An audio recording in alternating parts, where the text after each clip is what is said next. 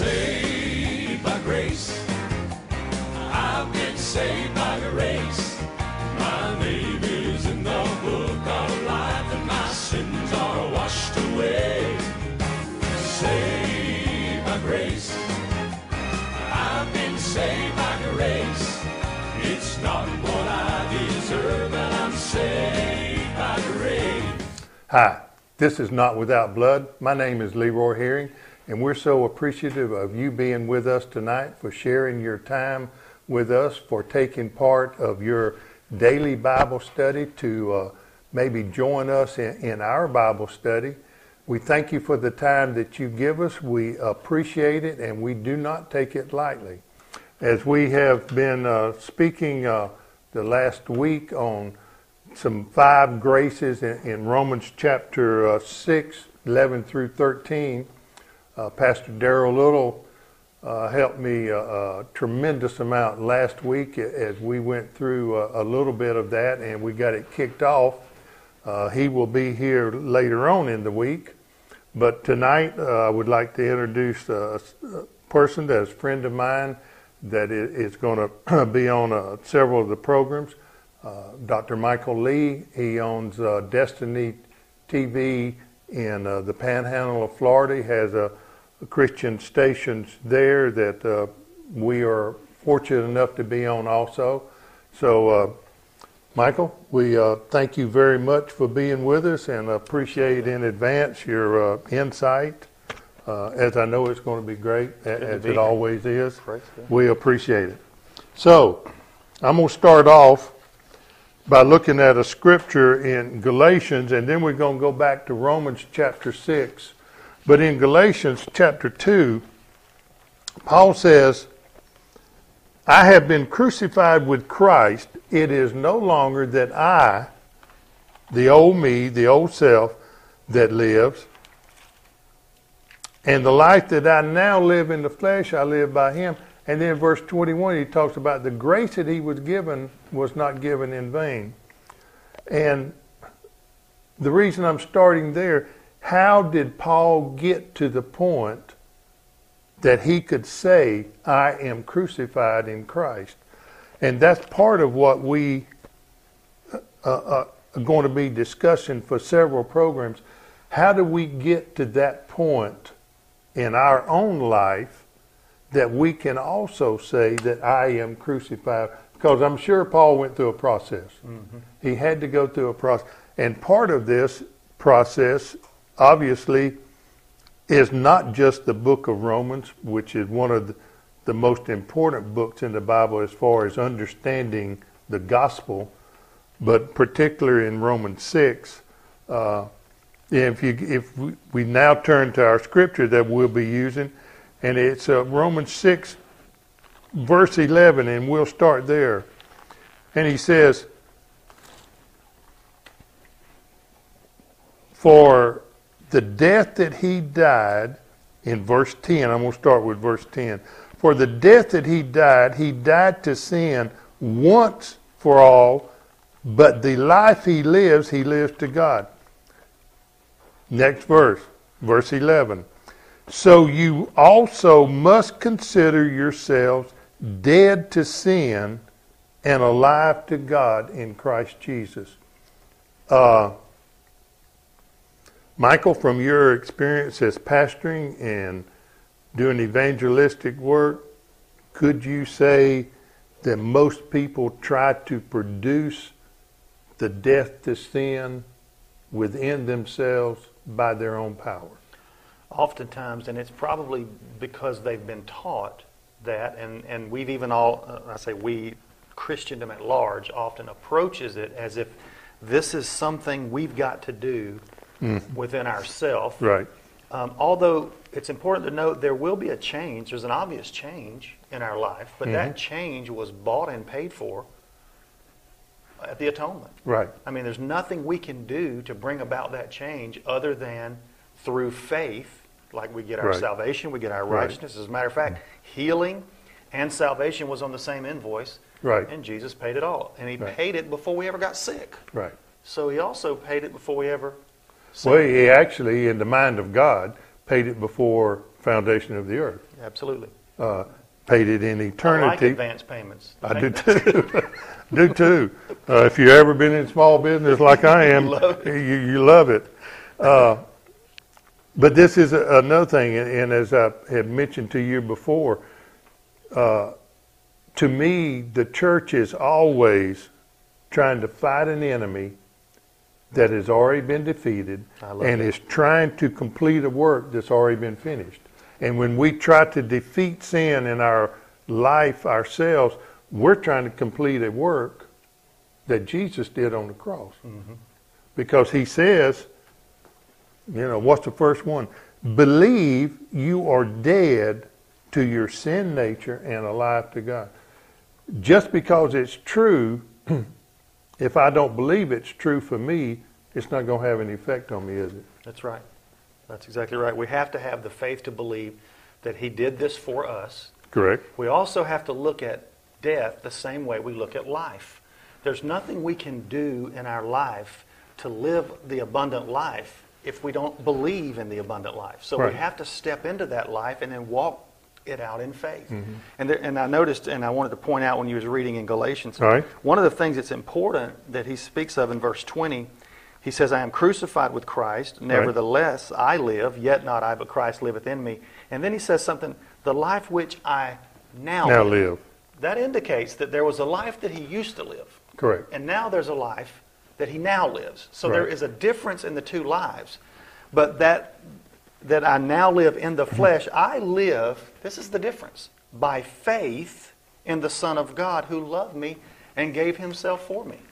By him just saying, now live, he is denoting that there has to be a change. Absolutely. Amen. There- There's a change in the heart, and it's going to be shown to other people by their experience with us mm-hmm. on a daily basis of how they how I interact with you or somebody else, how I interact with them.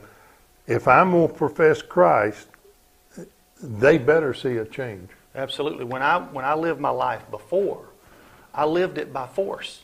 Right. You know, I lived it by what I could provide, what I could produce, what I, I, I. Right. But now I live by faith in the Son of God who loved me and gave himself for me. So now I'm living by faith and not by force. I don't have to make it happen anymore. I can just rejoice in the life that he's given me, and I'm walking in this new life, and I'm literally, we'll talk about, dead to trespasses and mm-hmm. sin. Well, Paul is plain in here in Galatians 2.20. He says, I have been crucified. The I. Mm-hmm. The, the I, the self-effort, the, the willpower that I tried to generate, everything else, the, the me, that part, the old man, has to be crucified if I'm going to have a new life in Christ. Absolutely. He talks a lot about the renewing of the mind. And that's where religion kind of gets back into it sometimes because they look at renewing of the mind as, as and putting away, you know, th- these other things as these deeds that I have to quit doing, and then now there's deeds that I start doing. Start, right. And so I'm, I've just exchanged one set of deeds for another set of deeds. But that's really not what he's talking about. The mm-hmm. renewing of mm-hmm. the mind is to renew it from the carnality to the mind of faith. Right. So now my mind is a mind of faith. And so I'm believing God for the things that I need. I'm believing, yes, I still go through my life. I'm living my life in this mortal body, and, I, and we'll touch on that in a minute too. But, but I'm also living by faith, as, I, as he mentioned in Galatians, in the Son of God, who, you got to know these things. He loved me, and he mm-hmm. gave himself for Right. me. And it's the faith in that that carries me into this new life, which is not just a life on this planet, but it's eternal life. Well, part of part of that, as you mentioned, the things he's going to do for me, I've also got to have faith in what has already been provided to me. Yes, sir. And and part of that is the defeat of sin in my life. Mm-hmm. He defeated sin on the cross according to Colossians 2, 14, 15. Mm-hmm. There he made an open show. He defeated the enemy. So he not only took the guilt of sin, I should not be guilty of my past anymore, but he also broke the power of sin. And even though he did it, and it's personal, it's for me, it's for you, for so many years, knowing God had died for me, I did not understand that the power of sin had been broken. That that power that that sin held on me in my old man mm-hmm. had been crucified and dead, and, and, it was no longer to reign or no longer could reign mm-hmm. because of what Christ did. Amen. It's powerless over you. It breaks the curse. Right. It breaks the curse that was affecting you and it breaks the curse that's going to affect your generations because it was broken off in mm-hmm. the atonement. What Christ right. did at Calvary takes care of. You hear people talk about generational curses and bloodline iniquities. They were atoned for. Right. Right back then. Right. Now, now we have to accept that. I have to believe that. We have to believe it. But when that happens, the work's already done. That's right. what makes it so good. Right. you know what is it? Uh, Galatians three thirteen says you know, the curse had been broken. Christ was made a curse for me. So, so he, you know, he's already taken the curse. Mm-hmm. And, but even though a truth is already there, that's the, that's the first thing in, in this verse 11. Uh, when it says, so, and I'm I'm I'm gonna read uh, this out of the ESV Bible. So you also must consider yourselves dead to sin. This version says you almost you also must consider yourself. The uh, New King James says believe you are dead. Right. So, the, uh, or reckon. Reckon is an accounting term. You know, that's you right. add up your figures. That's what you get. But I've got to believe what has been done or it's not going to be truth in my life, is it? Mm-hmm. That's right. We always talk about believing that we've got eternal life, but you've also got to believe that you're dead. Right. You've got to believe you're dead to the old life, which means if I'm dead to something, dead men don't hurt. Dead men, you know, they don't go back and do things that they right. used to do before they died. right. They're dead. And they're respectfully buried, and there may be a monument uh, set up to remember them, but that is all old. It's right. gone. That's the past. And if we can believe that that's how, how certain God has taken our sins away, that's how certain that right. the old man is completely gone. It's just as if somebody was a corpse and laid into a tomb. Well, that's part of the reason that people, by not believing this, people are not believing that their sins were totally, completely atoned for. Mm-hmm. So they still keep reviving. I reckon this is one of the way, best way, I don't know or not, but people are more sin conscious than they are Christ conscious. Mm-hmm. And the first thing that comes out from a conversation a lot of times is the sin consciousness of the individual that you're talking about. Well, I don't know about that. I know who I was. I know what I did. You know, mm-hmm. it's always past instead of alive unto God because, you know, that's what he's saying here in verse 11. Uh, so you also must consider yourselves dead to sin. Right. I've got to consider myself dead to sin before I can be alive, alive. to God. That's right. That's right. You got to be. You've got to have the faith to believe that that part of you has died before you can even believe that the resurrected part of you or the new life, the new life that come. I'm gonna live. So if I don't get that truth, if I don't settle that truth in my life first, that no matter what I've done, no matter who I used to be, that's the old dead man that was taken care of at salvation. You know, religion doesn't really teach you that that happened. Correct. And that's one of the problems. That's the problem have. I was. Religion will so teach long. you that oh, you got to watch yourself, you know, right. before this comes back on you, and this is going to come back, and this is going to creep back in your life, and oh, you got to be careful that this don't come. And I understand. And, and you defeat it by doing this, by doing this, by doing and the this. The more attention you give it, the more power you give it. Right. If it's really and truly dead, you don't think about it anymore, mm other than to m- memorialize the fact that God's delivered you from it. But you don't go back and worry it, eh, that something from that dead casket is going to come back up out of there right. and it's gone, it's dead. And that's what you have to know about your old life. The old man is totally gone. And right. those habits, addictions, all the things that went away when that old man passed away, when that old man died, those habits and addictions and those kind of things can forever be dead in your life. Yeah. And if, in fact, you face things, it does not mean that the salvation that you once knew is gone. Hmm. That's what the very No. next part of that verse means is once you understand that that death happened, you can understand that life has happened. Right. And now you're coming back into the full life of, you know, eternal life of Jesus Christ. There's no way that I'm going to have any semblance of John 10:10, the abundance life, until I recognize and believe this fact. Mm-hmm. So where's the grace in this? The grace in this, when we're talking about the five graces of- of Romans 6, 11 through 13, is the grace in this is that the ruling power of sin has been done away with by another, by my substitute, by another. I am not the one that has to generate the power to defeat sin in my life. Uh, you know, the Christian world really bought into a government hype, and that's really all it was was a hype. Years ago, when when when the government started saying, all you got to do is say no to, to drugs, mm-hmm. say no to drugs, you know, and, and so you know, just say no to sin. If you're dead, sin is is not going to be out here. You know, to to me, a lot of times temptation is like a fisherman's lure. Throws out and see if a fish is going to bite it.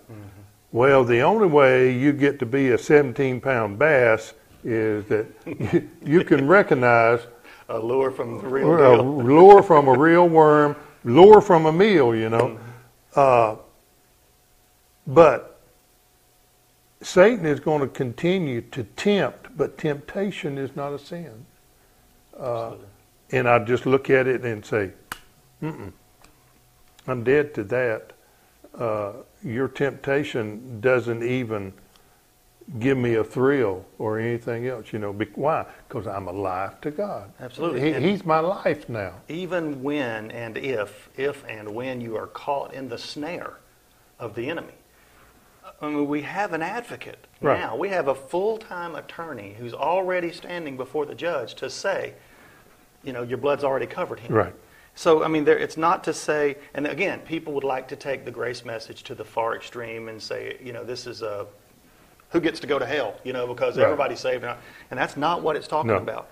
Wh- What it's saying is, for that person who is abiding in the vine, that person who is living it every day, you're not, you don't have to be tortured by the memory Right. of your past, Right. for it is dead, it is gone, it is forgotten.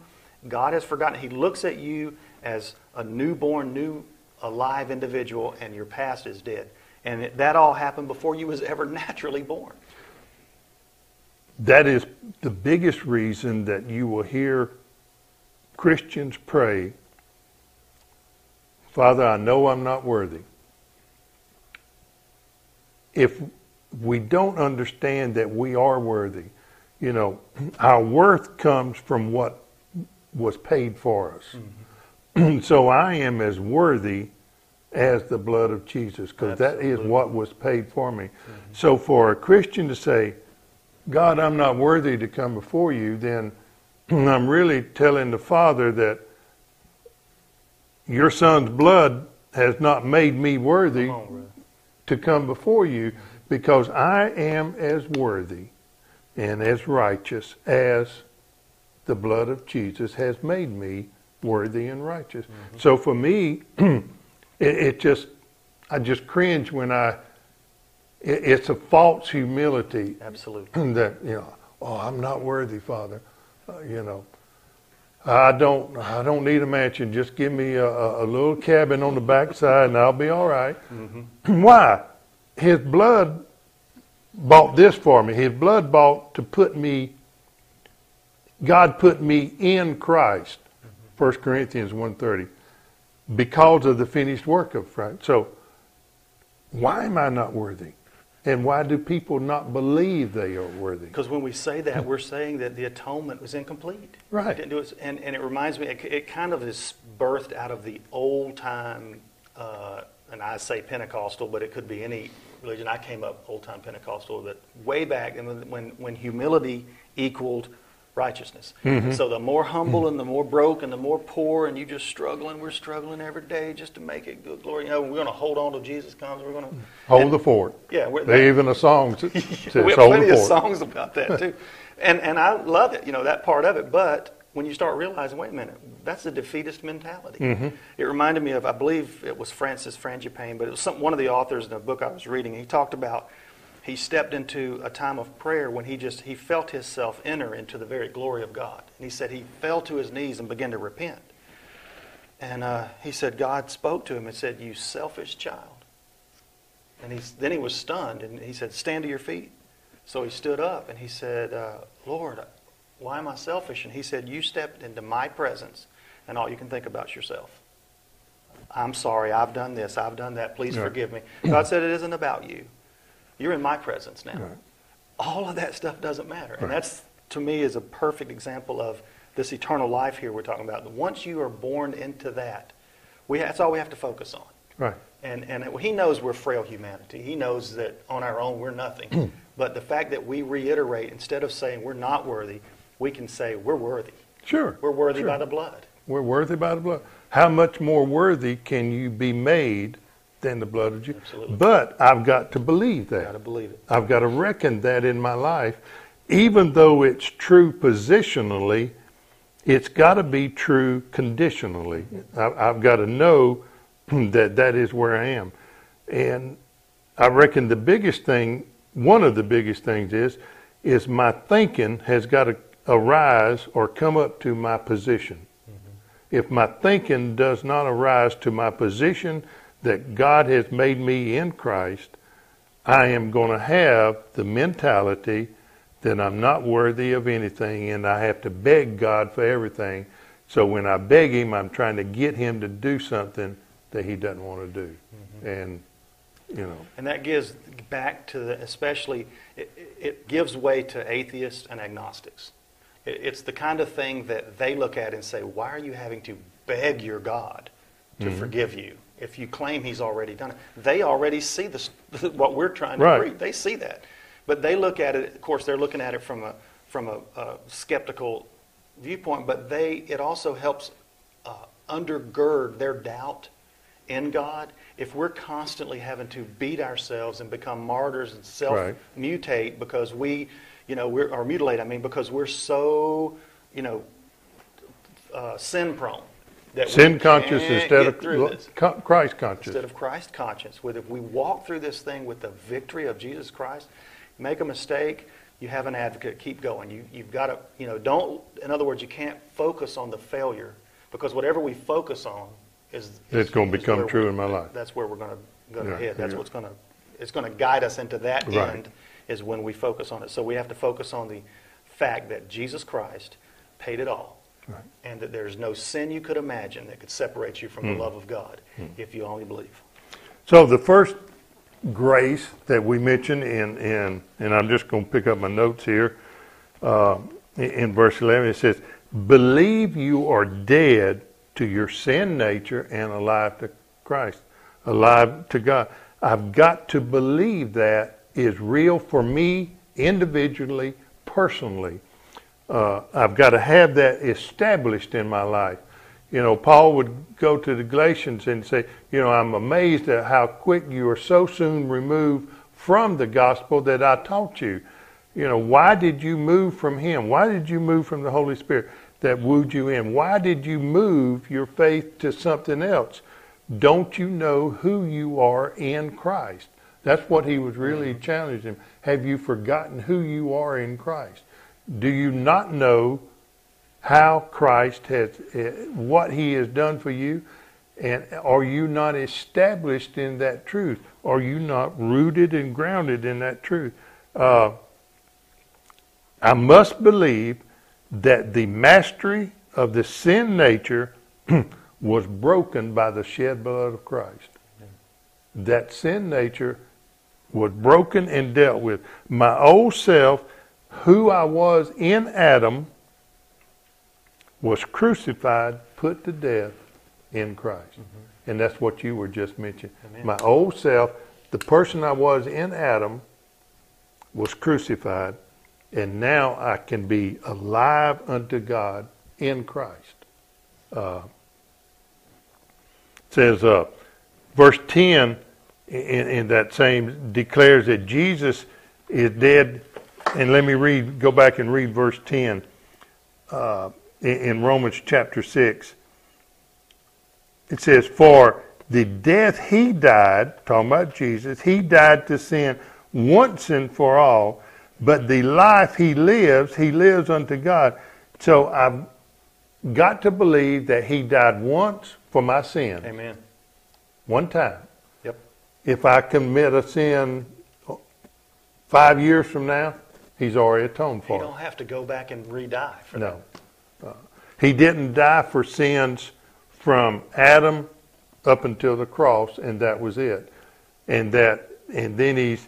Some people think, well, then he's going to have to come back at the end of end of this age and die for sins from the cross to his next cross. See, no, it's all encompassing, back, past, present, and future, and people get bent out of shape with that future part. That's because we number sin. Right. We make sin a deed. Right. And it was not a deed. Sin is a condition. And he came and died for that condition, whether it affected Adam or whether it affects a child that's not even born yet. He died for that condition. condition. And he is going to atone for that. And it wasn't for a sin that I commit, as if it's a single sin that I, have done 17 sins and I need to do so many, right. whatever. It's not that. It's the, the deed or the uh, condition of sin in my life has been atoned for. Now, if I choose to live with that sin in my life, I've made an eternal choice right. to right. to to be in, in, and I have eternal death, not eternal life, and it would be my own. Well, it, it's a reason that in Romans six and, and and most of Romans, but especially Romans six, every when sin is mentioned, ninety nine percent of the time it's singular. Mm-hmm. Because it goes back to sin nature sin. and original sin. That's exactly right. It, he died for the condition, mm-hmm. not the deed. Right. You know. Uh, we hope you uh, We'll take what has been presented to you tonight, maybe uh, study it, look at the scripture again, do your own uh, study of the Word. Hope we challenge you to in, and encourage you to go to your Word and to believe God has already done what His Word says He has done. I do not have to produce the promises of God in my life. Let His given body, his blood shed, the grace that was given, let that be the rule in my life. I am dead unto sin once, and I'm alive unto Christ. We thank you for joining us. We're out of time, and we thank you for yours. Continue to watch Not Without Blood.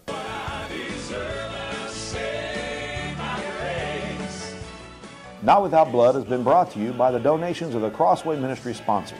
If you'd like to join our sponsors in support of our ministry, contact us at 256 227 5777.